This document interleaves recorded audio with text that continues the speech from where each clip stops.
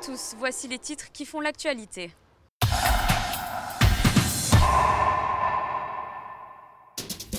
Nous débuterons ce journal avec l'émouvant rassemblement jeudi soir place d'armes de la population monégasque en hommage aux victimes de l'attentat de Charlie Hebdo.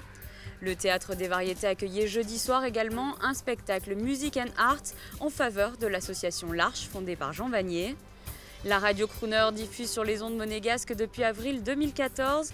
Retour sur sa soirée de lancement.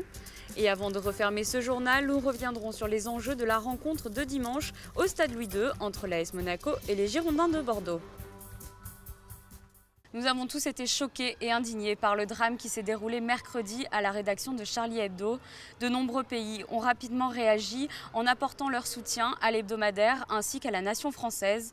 La principauté a également souhaité prendre part à cette série d'hommages jeudi soir à la place d'Armes. Un reportage de Fabien Bonilla. Des costumes, des vêtements de couleurs plutôt sombres, les esprits l'étaient aussi. La place du marché était noire de monde ce jeudi à la tombée de la nuit. Un rassemblement organisé par le Monaco Press Club. Journalistes, personnalités de la principauté, représentants religieux ou tout simplement anonymes, la plupart d'entre eux ne connaissaient pas personnellement les victimes et pourtant, à travers toutes ces pensées, cette communion, ils n'ont jamais été aussi proches d'eux ce soir-là. Moi j'ai l'impression qu'on est toujours dans le noir, même si le cœur euh, ce soir est plein de lumière. Parce que tous les gens qui sont là, ils sont là pour lutter contre l'indifférence, contre la peur. Moi, je me suis réveillé ce matin, comme beaucoup de gens, je me dis, c'est pas vrai, ils n'ont pas tué Cabu et Wolinski quand même. C'est un cauchemar, c'est un montage, c'est n'importe quoi. Bien sûr que c'est n'importe quoi. On a été touchés en plein cœur, tout le monde, ce soir, plus de 1000 personnes, donc euh, c'est important d'être là.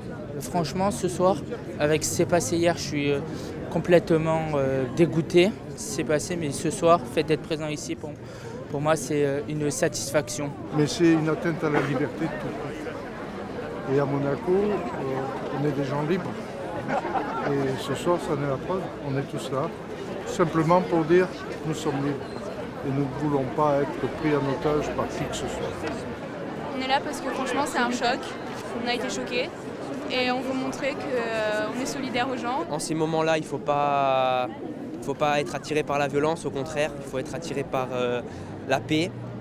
Il faut savoir euh, condamner ces actes tout en s'informant, en sachant qui sont les personnes qui ont fait ça et pas faire d'amalgame. Une réelle émotion face à, face à l'événement bien sûr que nous avons connu hier, face, euh, et face au, nombre de personnes euh, qui se sont déplacées pour une manifestation qui s'est bâtie dans la spontanéité. Pour finir, je, je relisais un bouquin que Wolinski m'avait envoyé il y a des années où il avait écrit euh, Quand on n'est pas capable de fermer sa gueule, on choisit un métier où on peut l'ouvrir. C'est pour ça que je suis journaliste. Une bougie ou une affiche à la main, des lanternes chinoises s'élèvent dans le ciel, tel un hommage, voire un message d'espoir. Parmi toutes les personnes présentes, un dessinateur satirique. Il connaissait personnellement les journalistes de Charlie Hebdo. C'est terrible, c'est terrible et j'arrive pas à le réaliser. Euh, j'ai un peu le même sentiment que le 11 septembre. Euh, j'étais figé devant la télévision, je voyais les événements euh, se, produire et j'ai tout de suite appelé la rédaction parce que j'avais évidemment des amis là-bas, Volinsky, Cabu, T-News. J'ai essayé de joindre T-News sur son portable. Il ne m'a pas répondu. On sait évidemment pourquoi. Et ce matin encore, cette nuit, j'ai pas pu dormir, c'était vers 4 heures du matin, et ce matin, en me réveillant, J'y croyais pas encore. Ils ont disparu, mais le, ils ont, le dessin de presse continuera. Charlie, j'espère, continuera. La liberté d'expression continuera. Et c'est formidable de voir cette, cette, ce rassemblement à Monaco. C'est très beau, c'est très beau, pourvu que cette, cet engouement euh, dure. Euh, ils seraient heureux et fiers de le voir. Et comme je le disais tout à l'heure, surtout en leur mémoire, pas d'amalgame. Ils ont été tués par des assassins, pas par des gens qui représentent une, une religion, par des lâches et des assassins. Un des deux criminels qui a décimé la rédaction du journal a hurlé en remontant dans sa voiture On a tué Charlie Hebdo. Eh bien, toutes ces manifestations de soutien à travers le monde et ici à Monaco prouvent le contraire. Ces barbares ont rendu Charlie Hebdo immortel.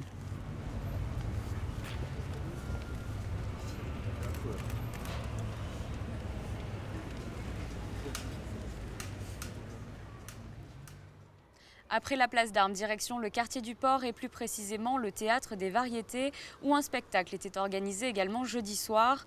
Une soirée au profit de l'Arche fondée par Jean Vanier qui s'occupe de personnes atteintes d'handicap mentaux. Fabien Bonilla était sur place. L'Arche du Cœur, musique and art show. Voici le titre de cette soirée en faveur de l'Arche de Jean Vanier à Grasse. C'est un centre destiné à des adultes qui ont un handicap mental. Il existe 130 foyers à travers le monde, une trentaine en France, dont ce foyer à Grasse. Ce sont des gens qui sont trop handicapés pour être dans un, atelier, si vous voulez, de, de réhabilitation par le travail du type euh, CAT ou ce genre d'atelier et d'avoir même un appartement thérapeutique. Ils ne peuvent pas être indépendants. Leur handicap mental est trop lourd. Et, mais ils sont des gens qui sont souvent pleins de joie, qui sont pleins de, euh, de, bonne volonté qui ont de la créativité, qui, ont, qui sont des humains à part entière. Donc il faut, malgré leurs difficultés, leur offrir cette place dans la société. Le montant pour assister à ce spectacle au Théâtre des Variétés était de 30 euros. L'intégralité des recettes est allée à l'Arche de Jean Vanier. Ce soir, il y a un concert. Un concert, ce sont en fait trois petits concerts. Euh, chacun des concerts a euh, parmi ses membres euh, un, fils, une fille, un frère, qui sont des pensionnaires de l'Arche à Grasse.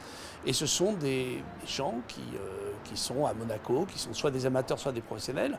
On a des solistes de l'Orchestre Philharmonique de Monte-Carlo qui vont nous créer euh, euh, une œuvre à partir de Moussorski qui est créée spécialement pour l'occasion. Donc vous voyez, il y a un effort de proposer de proposer quelque chose d'artistique, quelque chose de novateur.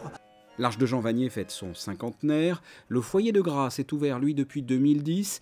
Il accueille des personnes de la région et de Monaco.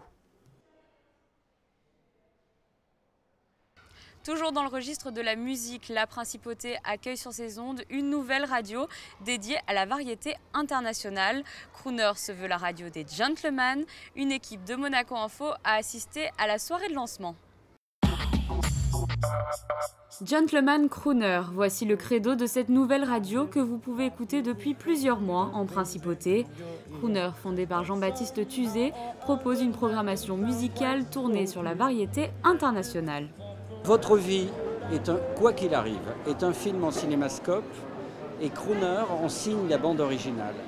Et c'est vrai qu'il y a une alchimie entre Monaco, parce que même si Monaco est une ville, j'ai appris tout cela par l'intermédiaire de mes amis, est une ville qui par exemple euh, va faire dans le développement durable. Ça peu de gens le savent. Mais Monaco, pour nous autres, les étrangers, c'est une ville qui fait rêver. Pour moi, Monaco, c'est Frank Sinatra qui va au bal dans High Society avec Grace Kelly Monaco, c'est le, prince Albert II, mais c'est le prince régnier, c'est tout ce qu'on a vu au cinéma. C'est une des villes qui fait le plus rêver le monde. Et nous, nous apportons à Monaco la bande originale, c'est-à-dire Frank Sinatra, Michael Bublé, Dinah Kroll, cette grande variété internationale haut de gamme, avec du sens, parce que moi je viens du service public et les gens sont en quête de sens. Donc on a une très belle information. Nous avons des nouvelles de Monaco. Et pour nous, ce n'est pas un problème de parler de Monaco dans, les autres villes de France et dans les autres pays du monde parce que ça va tellement bien avec Crooner. Crooner Monaco a vu le jour grâce à la collaboration de la société CATS dirigée par Odile Quéré. Crooner, ça va être aussi le monde des, CSP+, donc des chefs d'entreprise. On va pouvoir les réunir et puisque mon objectif aussi, c'est d'apporter le bien-être en entreprise.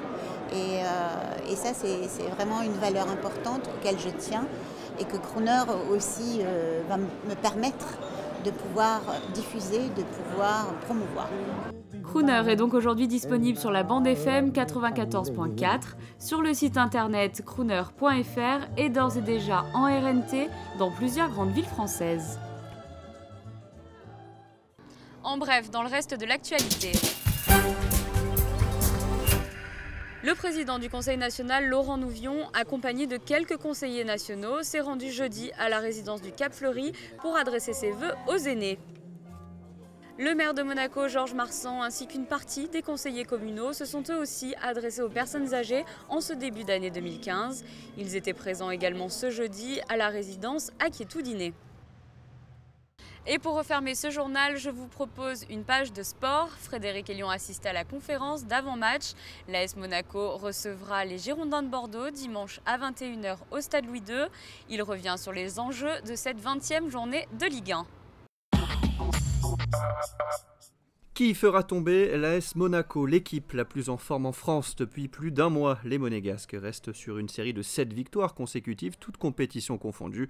Dimanche, Bordeaux se présentera au Louis II, une équipe girondine qui reste sur une très lourde défaite à domicile en Ligue 1, 5-0 face à Lyon fin décembre. Les joueurs de Willy Sagnol espèrent relever la tête et rééditer la performance du match aller où ils l'avaient emporté 4 buts à 1. Une rencontre qui reste dans les têtes monégasques. Pour gagner ce match, c'est important de ne pas oublier le, match de bordage. Toutes les choses qui se passaient là. Et c'est important d'une bonne attitude euh, et travailler beaucoup parce que Bordeaux, c'est une bonne équipe. On a perdu le premier match à 4 ans, mais jamais oublié ça. Et maintenant, on a joué à chez nous et on a essayé de gagner le match, de faire une revanche. C'est une équipe euh, compacte qui fait une, une bonne début de la saison. je pense que le troisième match, au quatrième match, ils sont avant Monaco beaucoup de points. Cet moment, euh, nous sommes en point avant, euh, mais c'est une équipe bonne. Dernier rempart d'une équipe ultra solide défensivement, Daniel Subasic n'a plus encaissé le moindre but depuis le 29 novembre 2014 et une défaite à Rennes. La concurrence avec Martin Sketelenburg qui joue les coupes et Seine et le gardien croate se voit bien rester longtemps à Monaco. On a joué bien défensivement maintenant. C'est comme ça, on a resté changer le système et jouer à contre-attaque. Mais un joueur défensif joue bien aussi, donc euh, c'est pour moi c'est facile. Je veux rester ici longtemps, c'est possible. Mon contrat c'est encore euh, deux ans et demi et maintenant euh, j'ai 30 ans donc je veux rester ici longtemps et c'est possible finir carrière ici. Je suis très content ici à Monaco. Pour ce match face à Bordeaux dimanche soir, Leonardo Jardim enregistre les retours de Levin Kurtzava et Dimitar Berbatov, même si les deux joueurs ne sont pas encore à 100%. Kondogbia, touché au quadriceps, est toujours absent.